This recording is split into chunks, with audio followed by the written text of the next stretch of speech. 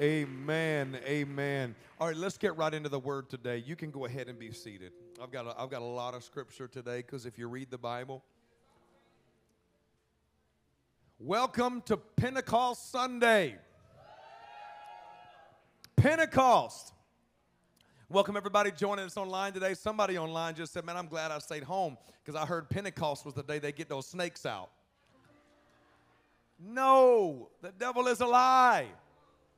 We ain't getting no snakes out up in this church. That's maybe in some backwoods Pentecostal church, but not in here. You bring a snake out, I'm killing snakes.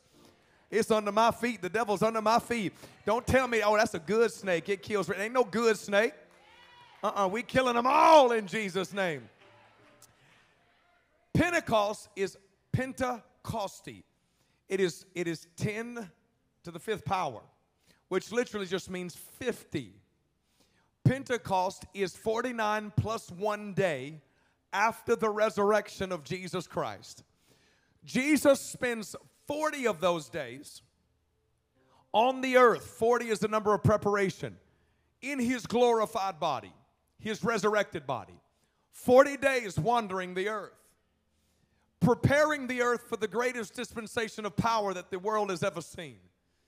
He said, For it is good for me to go, and I will send another who is just like me. He is your Parakletos, your comforter, the Holy Spirit, who will be with you and shall dwell in you. Two separate things. And on Pentecost, 2,000 something years ago, there were 10 days that 120 people spent praying in an upper room. 10 days.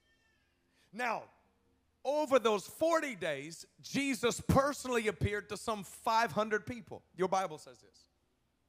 Out of that 500 and something people, Eddie, only 120 make it to an upper room. It tells me there is a great demonic pushback on getting people to upper room experiences. The enemy doesn't want you to have an upper room experience. And the fight was to keep them from going to the cross to the upper room. Some of you have gotten to the cross, but you've been afraid to go to the upper room. 10 days, 120 people praying, an outpouring of the Holy Spirit, and the birthing of the local church. The promise of Jesus fulfilled. That's what Pentecost is. 50, the promise of Jesus fulfilled. The birth of the local church as we know it, and the restoration of heaven's language, speaking in tongues, praying in tongues. These things happen, these things happen on Pentecost Sunday, and today we celebrate that. Now, throughout your Bible, today I'm going to give you an apologetic stance on the language of the kingdom. Speaking in tongues, praying in the Holy Ghost, what Pentecost Sunday is. So that you not just know what it is, but so that you understand it. So you can apologetically defend your faith and have scripture that backs it. So I'm going to have a lot of scripture for you. Let's, let's begin in this place in your Bible, in the Old Testament, God created three main feasts. Three main feasts. Stay with me just a little longer and I'll pray us out. These three main feasts were eternal rhythms of worship that belonged to God. God said, When you worship me, I want you to worship me, watch, according to these feasts.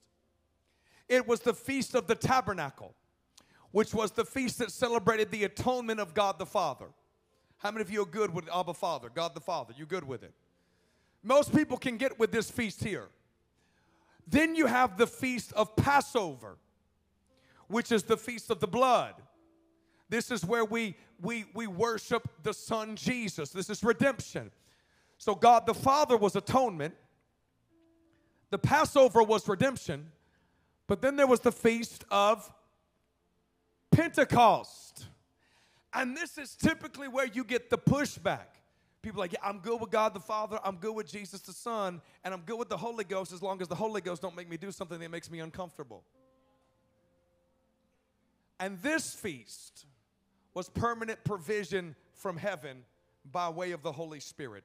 John 20. This is during that 40 day period after the resurrection of Jesus. Jesus said to them again, Peace be unto you. As my Father has sent me, even so I am sending you. And when he had said this, what did he do? Come on, say it loud. Say it all the way in the back. He breathed on them. Why did he breathe on them? Because he only did what daddy did. The Father breathed Holy Spirit into Adam and Eve, and the last Adam, the last Adam had to come and restore that. So Jesus, the last Adam, breathed back on humanity and said, Receive the Holy Spirit. Now, these same people are present in our next text, John 20. Let's go to Acts chapter 1. Acts 1. They just received the Holy Ghost. But now Jesus says, I want you to wait, verse 4. For the what? For the what? Promise. Somebody say, It's a promise. Somebody say, It's my promise. Of the Father, which He said, You heard from me. For John baptized you with water, but you will be baptized in the Holy Spirit not many days from now. John says that I baptize you with water, but there is one that is coming after me whose sandals I am not worthy to, to carry, to strap, and he will baptize you with what? Fire. Fire. Acts chapter 2, our main narrative for today. Keep all this in mind. Now, when the day of Pentecost had fully come, they were in one accord, not, not in disunity not grumbling, not gossiping, not at division against one another, but they were in one accord. What brought them in one accord? Prayer. They were praying in one accord. Take one accord, reach up, touch it, grab it like this, put it right in your pocket. Somebody say one accord, because we're going to pull that back out here in a little bit as we walk through this. Do not forget that. They were in one accord in one place. I love these next two words. And suddenly, woo, suddenly a sound from heaven. Can I tell you that God's about to do a suddenly in somebody's life? See, a day here is like a thousand up there, so you think you've been waiting for a long time. But when God gets ready to do a thing, can't no man, Mauricio, stand in the way of it. Can't nobody stop it. Can't nobody do what Jesus can do. So he will suddenly save your child, suddenly put your marriage back together, suddenly cause the resources to be there for your business. God's about to do a suddenly for those that would release themselves in prayer to him. Suddenly. I just declare suddenly this building completely paid off so we can build another one so we don't have to have three on Sunday, but we can have one.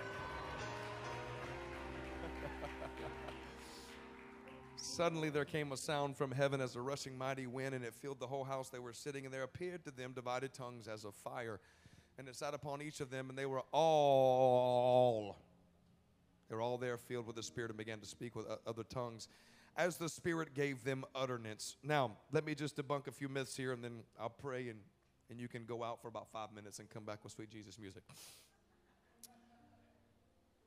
In verse 8 in Acts chapter 2, many people will say in this moment, oh, well, they, they spoke uh, Aramaic. They didn't gibber jabber. Or they spoke, how many of you have heard that before in this Acts? They spoke the language, the language of, of Greek, or they spoke Hebrew, or they spoke that language. You've heard that. For people trying to say that speaking in tongues is not a heavenly language, that it is literally your God, Jesus, or the Holy Spirit empowering you to speak a foreign language in order to witness. Wrong. Yes, that can happen, but wrong. The Bible does not say that in Acts chapter 2. The Bible very explicitly says that they heard. They heard. Gift of interpretation. They heard the language as if it was their own language. How do we know? Because verse 13 says that there were some people that heard languages, but other people that heard gibberish and said, You're drunk. So those that were in one accord could hear the interpretation. Those that were against it heard drunkenness. That's why there's many people in the church today that say, oh, that stuff is foolish because you're not in one accord with the Spirit of God. You get in one accord with the Spirit, and God will take the foolish things of the world. To confound the wise. That's why no eye is seen or ear is heard what God has to do for the church, for those that love Him and called according to His purpose. God's about to do something that seems foolish. I almost quoted that scripture right. I halfway butchered it. All right, now, Acts 19. Paul asked a group of believers, Did you receive the Holy Spirit when you believed? And they answered, Whoa, whoa, whoa, whoa, wait a second. Did you receive the Holy Spirit when you believed? They said, No. Paul laid, placed hands on them, and the Holy Spirit came on them. And what happened? They spoke in tongues. All right, let's talk about the language of the kingdom. Lord, remove any hindrance, any religious spirit. Total freedom today. Just total freedom to receive your word. Teach us your ways that we may know you and find your favor. Speak through me only what you want spoken. Touch those that are online, touch those in this room today. We give you the glory and honor. In Jesus' name, amen. All right. I want to do this in question form today. And the first question that I want to answer is Is speaking in tongues biblical? Is it biblical? Yes, speaking in tongues is scriptural. 1 Corinthians 14 14, Paul says this that if I pray in tongue, my spirit prays, but my mind is unfruitful.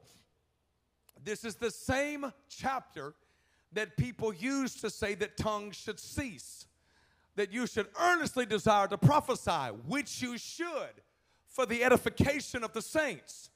And things should be done decently and in order. But here in 1 Corinthians 14, Paul is talking to a church that was super spiritual and super carnal at the same time. They wanted to prophesy and talk in tongues, but they didn't want to love somebody. They wanted to speak in tongues, but then be sexually immoral. They wanted to be out of order in church, and everybody was a prophesying and a prophesying, and there were parking lot prophets and foyer prophets, and there were bathroom prophets, and there were green room prophets, and there were prophets running around running their mouth. And Paul comes in as a spiritual apostolic father to bring order to what was happening at the church in Corinth. So Paul says that what should I do? He said, I will pray in spirit and I will pray with my understanding. I will sing with my spirit, but I will sing with my understanding. He said, There are moments that I am going to pray in the spirit and worship in the spirit, but there are other moments that I need my understanding. Why do you need both? You need to pray in English or Spanish or Creole or, or, or Portuguese, whatever your language is, so that you can put your stake in the ground and identify when God does what He said He would do. When I pray in English and I understand it when God comes through, guess what I can do? I can testify. So I pray in the Spirit and I also pray in my regular tongue. Now, Mark 16, 17, Jesus says this, red letters. These signs will follow, will, those who believe. In my name, they will cast out devils, demons. They will do what?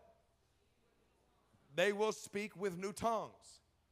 Now, the Spirit of God, the Holy Spirit, came to change culture.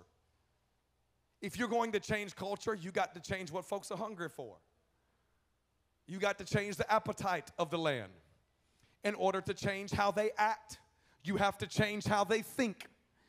And the way to really tell if a kingdom has colonized a territory is when that territory begins to speak the language of the kingdom in which took over for them. See, when you really know you've been fully submersed in the Holy Spirit, it changes your language. You don't no longer speak your natural language, but you also pray according to the Spirit. So God didn't send the Spirit to entertain us, God sent the Spirit to change us. Everything in us, including the language that we speak speak. You say, Pastor, am I supposed to walk around and speak in tongues all the time? No.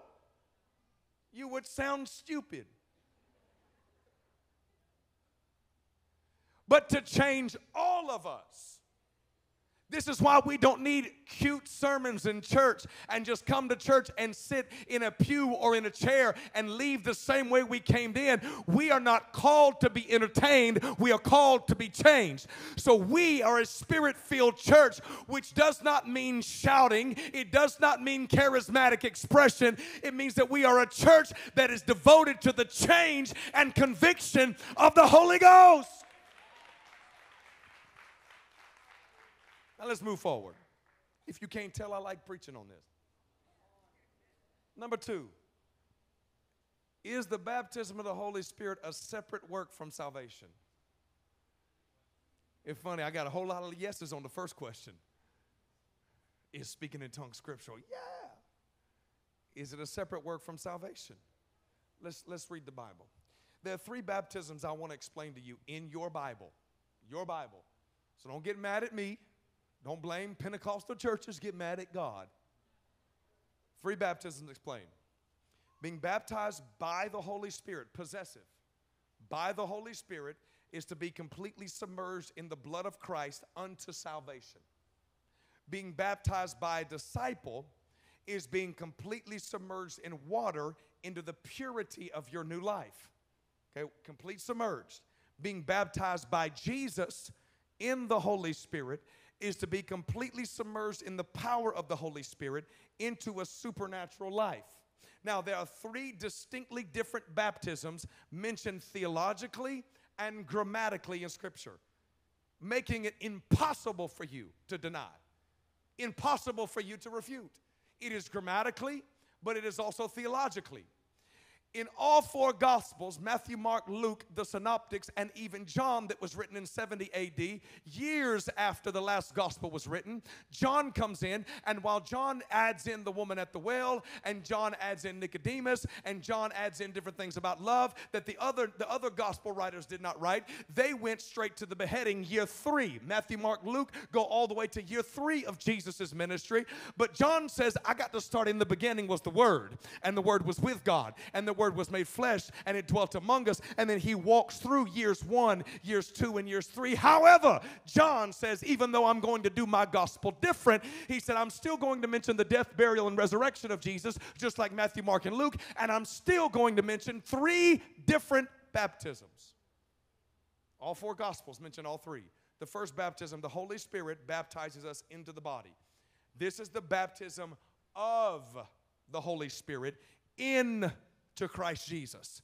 So the Holy Spirit, possessive grammatically, he owns this baptism. John 16, 8 says that he will convict the world of sin. The Spirit convicts you that you need Jesus. By one Spirit, Paul says in 1 Corinthians 12, we are baptized into the body. So, how many of you remember the time you got saved? Some of you don't. You just saved in the womb like me. That's fine. I've been good since I came out. Come on, son. Ain't that right, baby? Ain't that right? Come on. When you got saved, watch, something told you to go to that altar call, something told you to pray that prayer, something in you. Unexplainable, but something pulled you out of your sin. Some of you were still hungover drunk when you gave your life to Jesus because something in you, something in you pulled. The Spirit was convincing you you're sinful, you need to be washed in the blood. And when you came to the altar and said yes to Jesus, the Holy Spirit took the bucket of Jesus' blood that speaks a better word and pours it over your life. For what can wash away my sins? Nothing but the blood of Jesus. So the Holy Spirit pours the blood over you and now pulls you into sonship through its redemptive qualities. That's the Holy Spirit's job. Then, after you do that, you cleanse yourself by showing the world that you love Jesus and you allow allow a pastor or a disciple or an apostle or a bishop or somebody that believes is your friend to baptize you now in water. That's the second baptism. When you got baptized in water, that was your second baptism, according to Scripture. Matthew 28 19, make disciples of all the nations, baptize in the name of the Father, Son, and Holy Spirit. But then Jesus has a baptism that belongs to him. It's the baptism of Jesus into the Spirit. Very different than salvation. Matthew 3:11. Your Bible says that Jesus will do what? And with fire. Will baptize you with the Holy Spirit and with fire. Now I'm going to show you even more of these three baptisms. How many of you want a little more? so Jesus has a baptism, Holy Spirit has a baptism, disciples have a baptism. Now, there are three, the Bible says, three that bear witness in heaven the Father, the Logos, and the Holy Spirit. Now, when heaven meets the earth, comes down, watch what the Bible says the transition is the baptisms in complete reverse. And there are three that bear witness on the earth the Spirit, the water, and the blood. It is the blood first, then the water, and then the spirit. It is the outer court blood, the brazen, the brazen altar, the inner court, the brazen laver, the word. It is the holy place. You've got the oil, and then the holy of holies, which is the glory of God. You don't get to go to the blood and then go to the water and bypass the oil to get in the holy of holies. What happens if you go to the holy of holies, Kenneth, if you bypass one of the stations? You die. I say, you say I'm gonna die if I don't speak in tongues? No, no, no, no. I'm not saying that. I'm saying you would never dare bypass one of the places to get to the glory of God. Why would we take the baptism of the Spirit into the body, take the baptism of a disciple in the water, and then try to bypass the oil and get to the fullness of God? Three baptisms. Salvation baptism is sonship. Water baptism is new life. Spirit baptism is power to walk in that new life. Now watch. Go ahead. Praise the Lord. Praise the Lord. I got so much teaching. I we're just gonna we're just gonna we gotta run with this. We gotta run with it. We gotta run. Jesus in John 20 shows up to these disciples, says, I only do what Father does, breathes on them the breath of God, the Spirit of God, because the Spirit of God did nothing but descend and ascend and descend and ascend all throughout the Old Testament. Do you know the first time that the Spirit of God, since the Garden of Eden, got to the earth and stayed? At the Jordan River. When there was a certain man that walked down the muddy riverbanks of the Jordan that got baptized, the Bible says that the Spirit of God then descended upon him like a dove. Then the Holy Spirit stayed on the earth, but nobody else could carry it because nobody else had been washed in the blood yet. That's why Jesus couldn't breathe on his disciples till after he died. After he died, the Spirit then began to wash in the blood. So Jesus came and said, I got to give you what just washed you in the blood, which is the Spirit. So whew, here's the Holy Spirit, it is now in you. Then Jesus said, Now you got the Holy Spirit in you, but it's still not enough. I want you to go wait. Tell me this if there was nothing after salvation, why did they have to go wait and they couldn't go share their faith right away? If nothing else exists, if baptism in water is the only, is the end of it, why did Jesus say wait? Pastor, you're passionate about it because I'm tired of pulpits lying to people and keeping them from the fullness of God. Pulpits of preachers that are unwilling to study and, and, and, and connect themselves to the fullness of God. Why was there to wait? Because there was something that was coming that was going to empower them to carry out the fullness of their assignment. Can I tell you that, that, that you are not called to get saved and sit? You get saved to act. Lord, you're going to make me work this service. You don't get saved and get to keep your mouth closed about righteousness. You don't get to get saved and keep your mouth closed about the things of the Bible because you're afraid that somebody won't like it and somebody might cancel you and somebody might get upset with you and somebody may say you're judging. The Bible says you're not supposed to judge. Where does your Bible say that at? You can call sin a sin and that's not judging. Judge not lest you be judged. So with whatever measure, you let me preach this thing, whatever measure you judge, that will be given back to you. But if I look at an apple tree and call it an apple tree because of the fruit that that it bears, that is not judgment. That's just telling the plain old truth.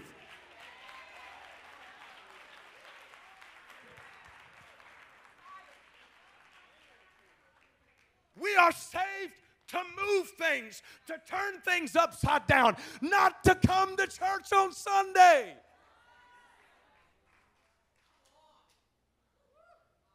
Pastor saying it? Yeah, I'm saying you didn't get saved to come to church on Sunday. You got saved to leave from the church and be the church on Sunday.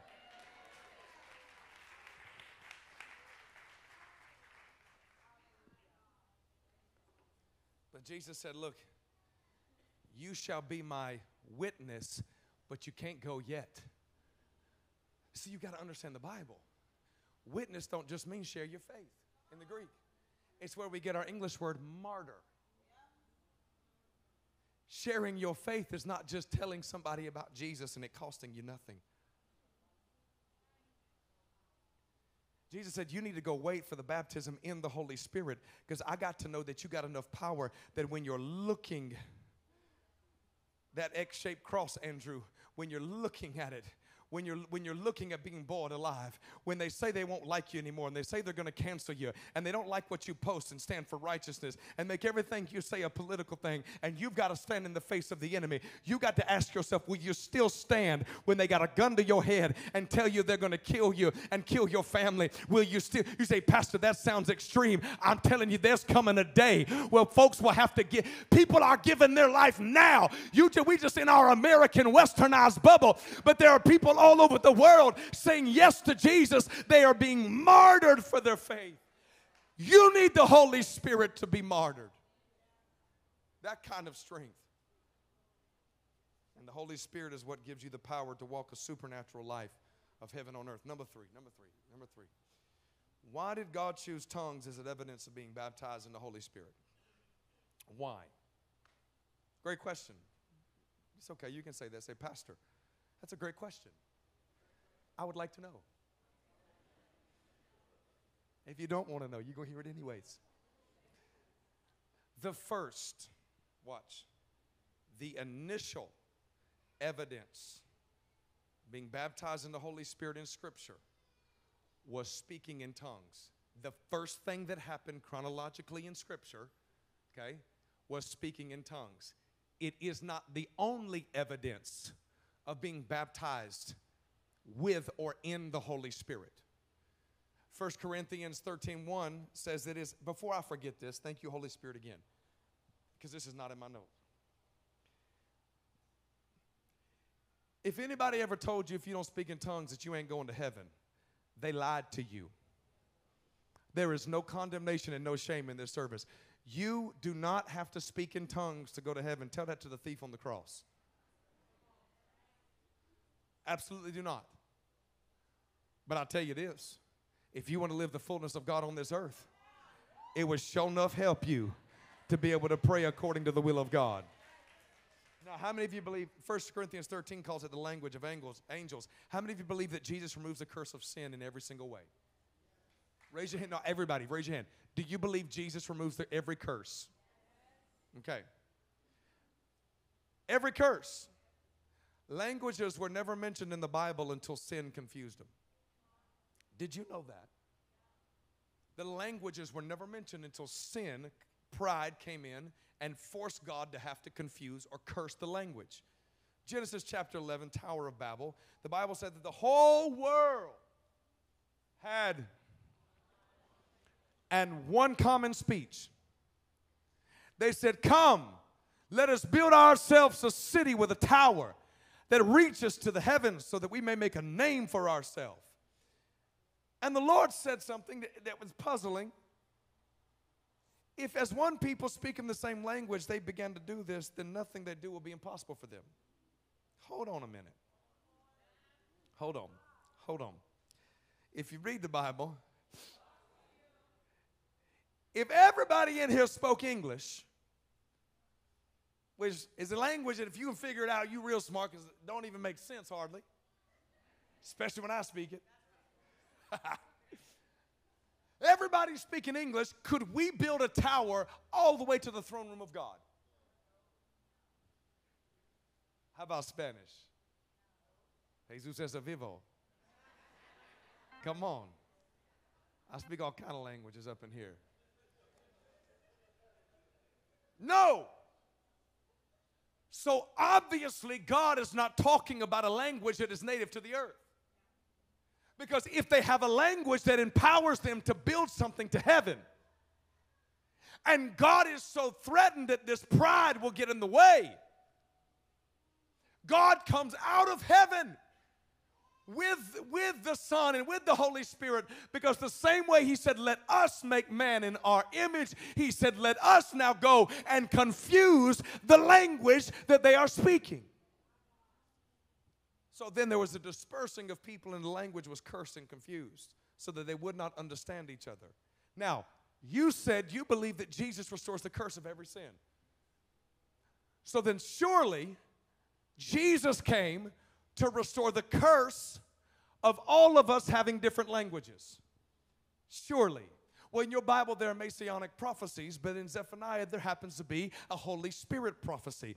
And the Bible says it like this For then I will restore to the people a pure language that they all may call on the name of the Lord to serve him. Take it out of your pocket with what? With one accord. That's Acts chapter 2. That is the full work of the cross of Jesus Christ when he came to restore to the people a pure language so that once again, Acts chapter 2 didn't miss anything. So that suddenly, while they were in one accord, a language from heaven fell down.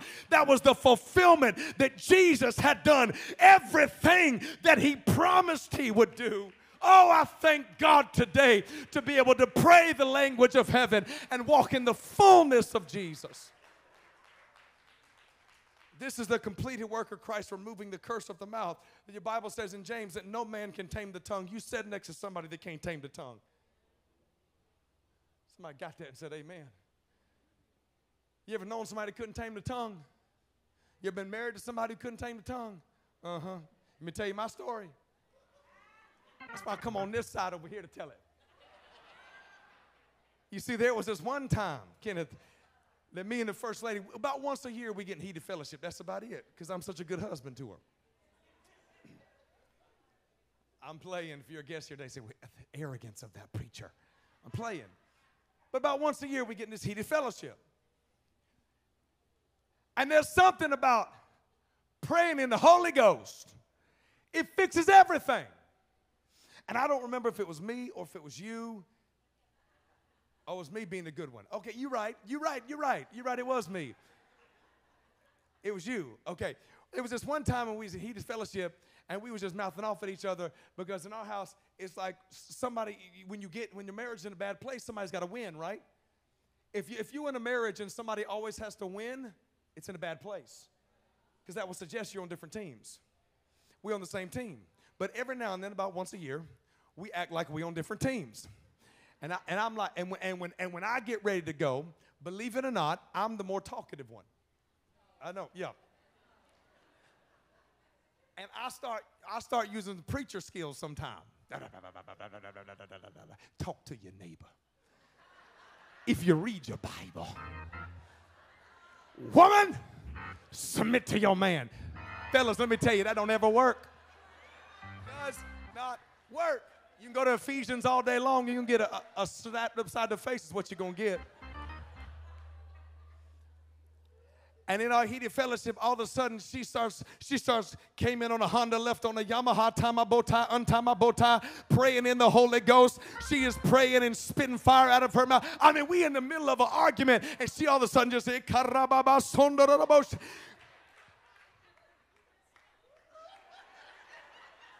and, and all of a sudden it's like this you get delivered and you're like fine i'll just pray with you. And everything gets better. And then you pray together and then two become one and it's a beautiful thing. Praise god. Come on somebody give the lord praise. Somebody give the lord praise. It tames the tongue. Now number four. What does the holy spirit say when he prays through me Praying in the Holy Spirit does not make us super spiritual, it makes us super you. So if you pray in the Holy Spirit, you are not a better Christian. You pray in tongues, you're not a better Christian. Romans 8 26, Paul says it like this that the Spirit helps in our weakness, for we do not know what to pray as we ought, but the Spirit Himself intercedes for us with what? Groanings, which are too deep for words, according to the will of God. If you're going to do anything great in the kingdom, there are going to be moments in life when you don't know what to do. I said, if you ever do anything for God, there are going to be moments, Erica, that you get your back against the wall and you don't know what to do. The storm is going to rise up. You're going to have to be in a moment where you feel like Jesus is sleeping. There, there, there, are going to be giants that come against you. There are going to be moments that you say, Lord, I don't know what I'm supposed to do. I don't know what I'm supposed to pray. Has anybody ever been inside of a moment that you didn't even have the English words to put on your desperation? You were so desperate for God to show up that you didn't know the right thing to say, but you fell down on your face and you started you started praying in the Holy Ghost because it was too deep for your words to get on. So the Spirit of God came and started to pray through you. And First Corinthians 14 said that you, when you speak in tongues, you are personally strengthened. Now, groanings is a Greek word, histemi, which means to strengthen a family and to keep a kingdom intact. You start praying in the Holy Ghost, your kids will get stronger, your marriage will get stronger, the kingdom of God, this church will get stronger. If we'll stop fighting what Jesus wants to do and just receive all of Him, do you know what we can do in this city with an entire church baptized in fire? Jude 120, but you, beloved, build yourself up in the most holy faith, praying in the Holy Spirit. This is why in my tough seasons I don't have to make dumb decisions. Because when hell breaks loose and I don't know what to do and I need direction for my family, my business, my church, I pray in the Holy Ghost so that my earthly weakness can get replaced with heaven's power. And here's the good news. Pastor Troy Luke 137 says that everything I pray in the spirit will come to pass because no word from God ever fails. No word from God. Now, worship team, if y'all get ready, go ahead and, and hop on over here. But I want to get ready to ease us back into worship for just a moment. I need you to get here quick with me, though. I don't have time to pump and prime this morning and beg you. I need you to jump in quick with me. Number five is the baptism of Jesus in the Holy Ghost, is it for today? Is it for today? The baptism of Jesus in the Holy Ghost, is it for today? There is a great religious spirit that fights two T's in the church so strong. You know them tithe and tongues. That's why some folk don't tithe, because they like their money. No, we're going to tell the truth and shame the devil. It's why folks don't want tongues, because we like our comfort. We like our money and we like our comfort.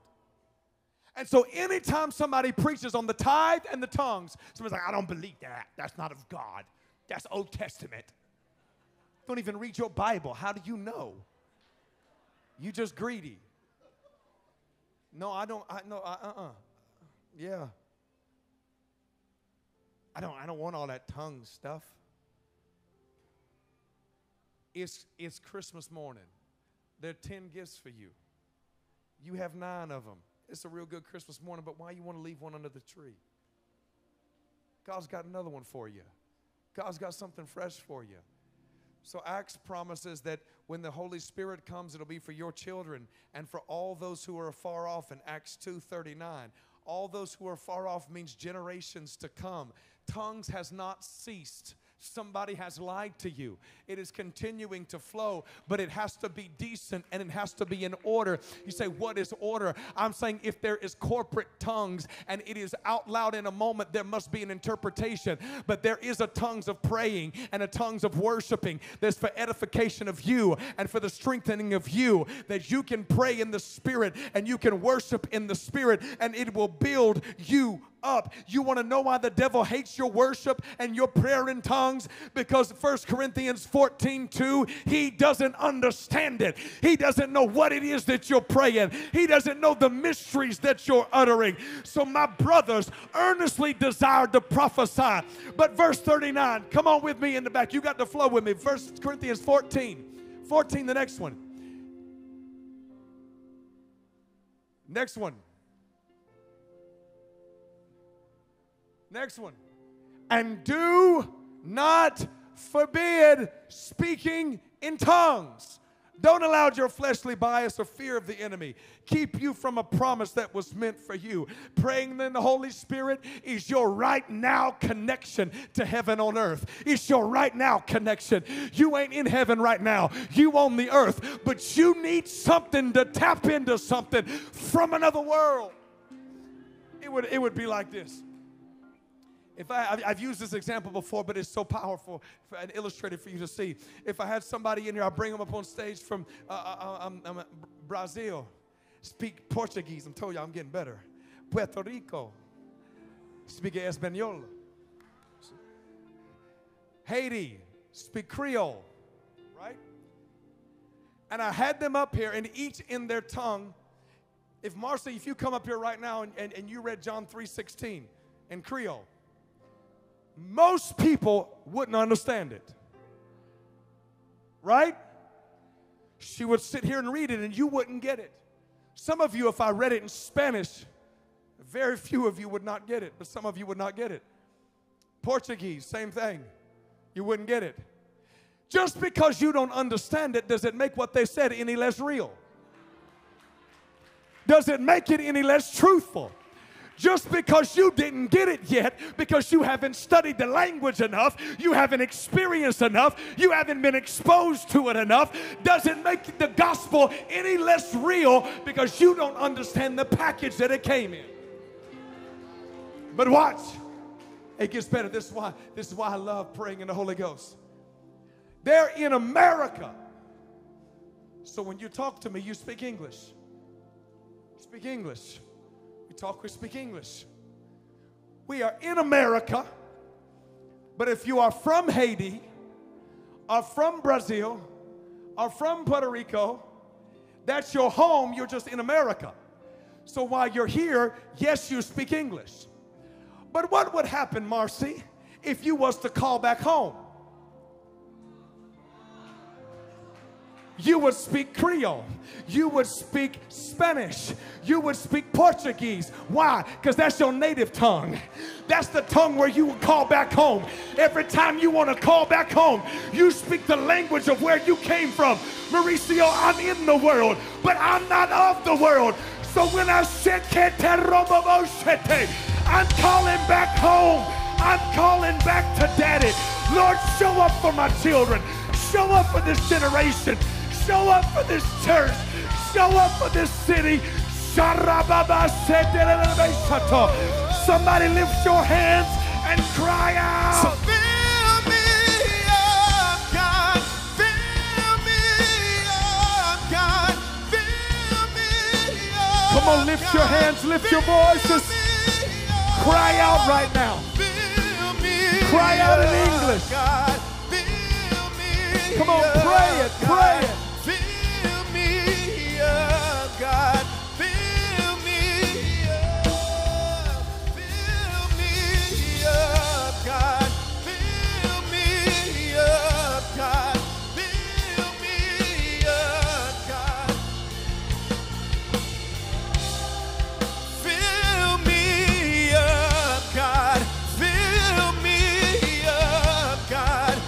Shout it with desperation. With desperation. As loud as you can. Shout it. Fill me up, God. Fill me up, God.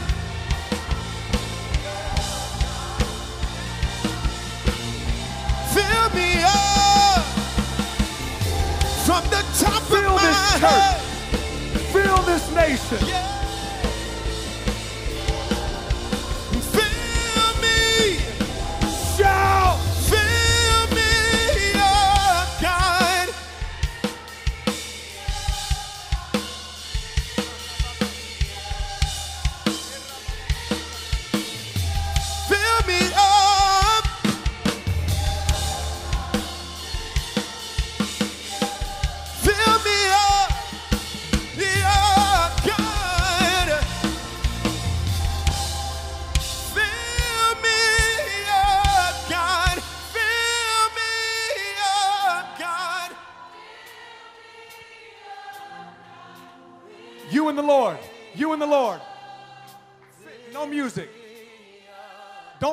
stage.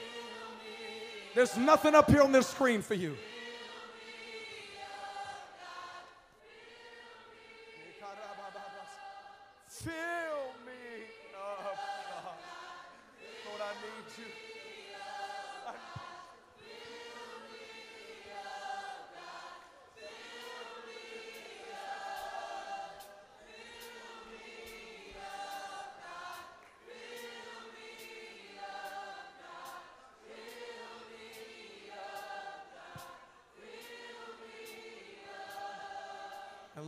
Listen, listen, listen, listen. The enemy doesn't know what your what is about to happen. The enemy is resisting this, resisting this because he knows he doesn't understand what you're about to pray. I would go even a step further and tell you do you know where Satan is, was from originally?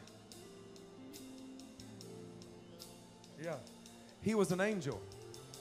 I propose to you that it could quite possibly be, be that Satan hates you speaking the language of heaven so much because you speak in the language he lost and can never get back.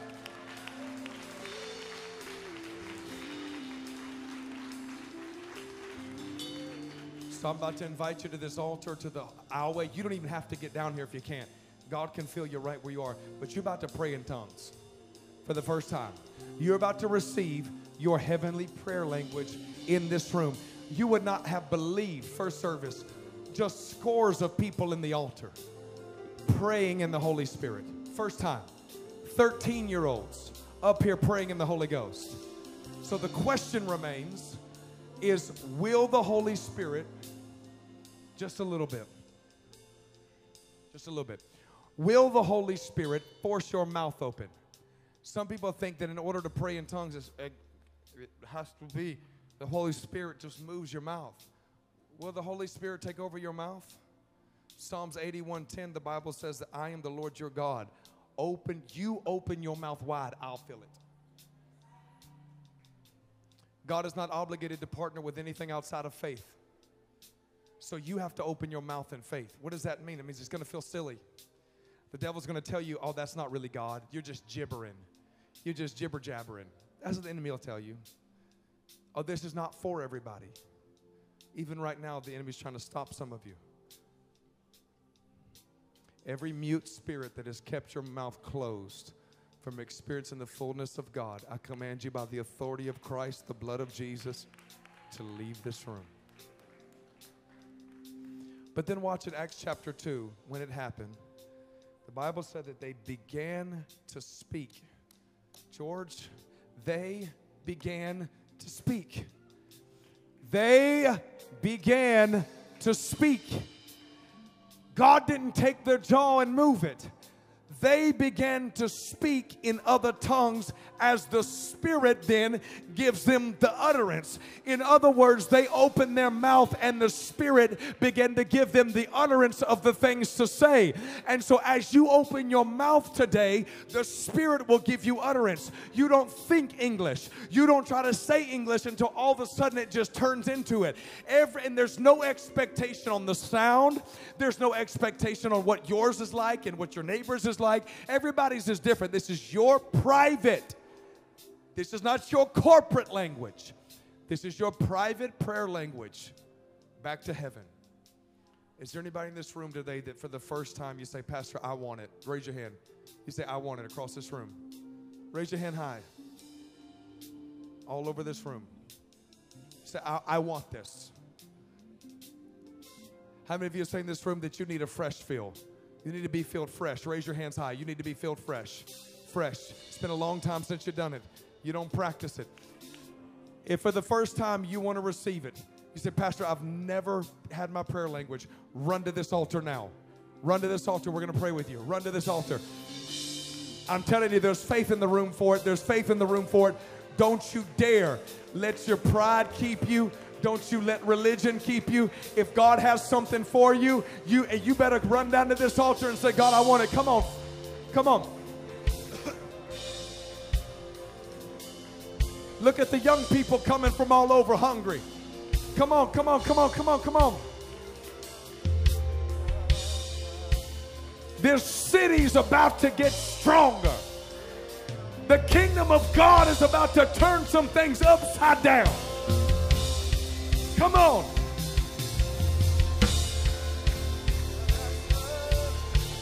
Thank you. Now what? If you want to get filled fresh, I don't have room for you at the altar. Just step in the aisleway. Step in the aisleway. Fresh touch of God. If you can't get in the aisleway, just lift your hands. Here's what's about to happen. One more time, Pastor Jamil. We're going to sing this song. Listen to me at the altar. Look at me. I'm giving instruction right now. I need you to look. Lift your hands and say, God, fill me up. I'm going to pray in the middle of that song and cry out for Jesus to do what he promised to do to baptize us with fire. And he said, These signs will follow. and you open your mouth at that point, no more singing, fill me up. Open your mouth and just begin to pray. People say, well, Pastor, you do it on command. Yes, because that's my prayer language. I speak normal like this, and you've got the faith for me to speak this. Why not have the faith for me to speak bilingual, a natural and a spiritual language? It's not that far out. My, my, my pastor, Apostle Rayleigh, always says it like this He says, You already believe that you get washed in the blood, it forgives you of your sins. You're already weird. You already believe that a man raised from the dead sits on a throne and prays for you. You already way out there. You also believe that one day you're going to die and you're going to get resurrected and go to heaven. Your belief system is already way out there. Why not go ahead and receive the baptism in the Holy Ghost and begin to pray in your heavenly prayer language? So, right now, fill me up, God. Come on, fill me up. Fill me up, Cry out. Cry out right now. Cry out. Real desperate, real desperate. God. Fill me up, Real desperate, real desperate. God.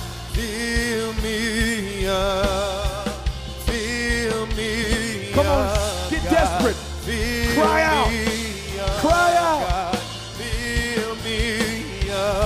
Okay, one more time. One more time. Fill me up. Fill me up, God.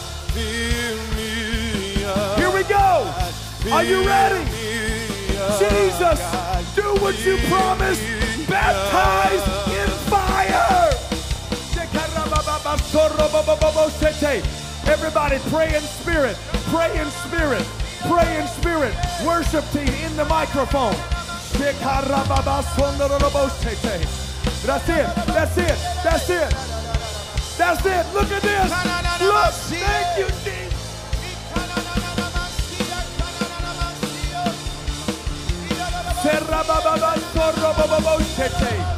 That's it, son. Louder, louder.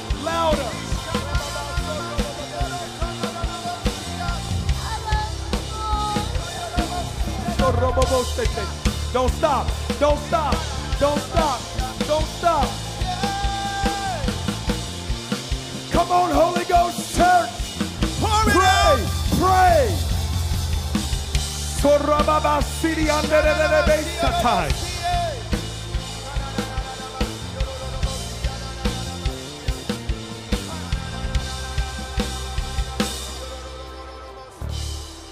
Go, pray, pray. That's it, Abby. That's it. Pray, pray. It's not silly. It's not weird. You open your mouth and start speaking. So rebebe sarababa santai.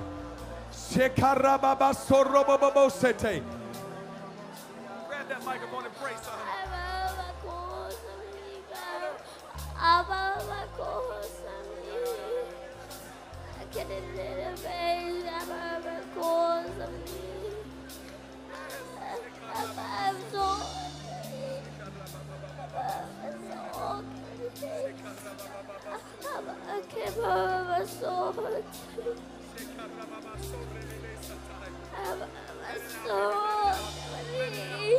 Let it out.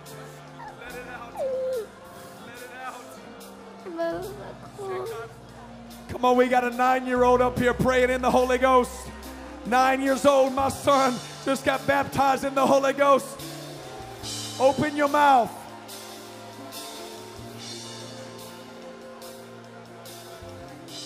Okay, watch. That's it.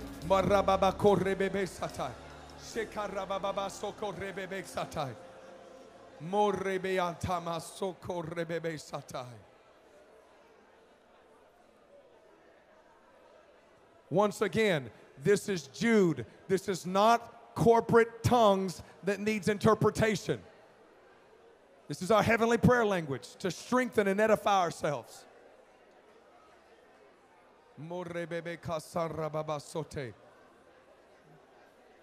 Just open your mouth, let him fill it. Shekarababa sokorebebe sandareata babasi. Sorebebe sarababa korebe karabasote. Ishiri ande rebe korababasai. Word. Just song, just song, just song. Arababasi.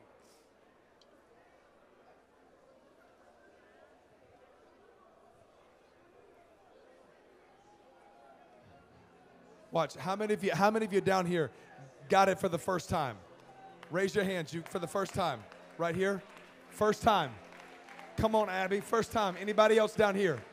First time, young man. How old are you? 18 years old. Come on. First time. Raise your hand. Go ahead. I want this to stir your faith, church that God is showing up by signs and wonders as a sign to the unbeliever.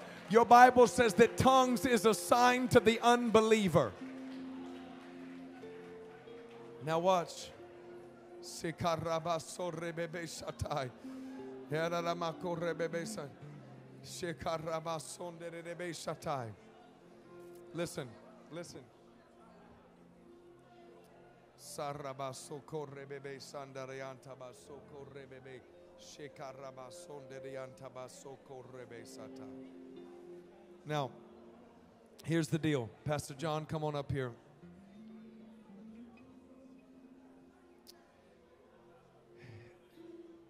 If you want to stay next service for a little extended time at the altar, you can if if you feel like you got what God calls you to get today, please. No, I'm just in, inviting people that want a little more. If you're if you're headed out, go ahead and run, run to your car when we get done here. Go ahead and go to your car, get you a little um, matcha tea, vanilla oat milk latte, and get onto your car. Um, but if you need to stay, stay in this altar. Okay. Now listen. Couple things. No shame, no condemnation. Some of you feel like you left here today and you didn't get anything. The devil's a liar. You did.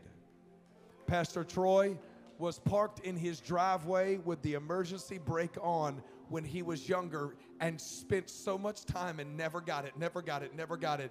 And the enemy was condemning him and shaming him. And guess what happened? He got filled in the driveway right there in that moment. My mother in law, it happened to her in her room. No preacher my wife had happened in the service that, that, that it wasn't even about the Holy Spirit. She was laying in the back. I'm saying that it could happen to you at any moment. The key is you continue to pursue it. You don't stop pursuing it.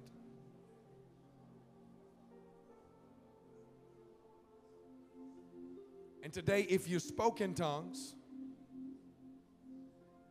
the key is I want you to continue to do so when you started speaking English, you had to learn how to speak it and continue to speak it, right? You did. You did. Same thing with speaking in tongues. It is your heavenly language now. You have to continue to talk. So, so tomorrow, pray in the Holy Ghost. Amen. Amen.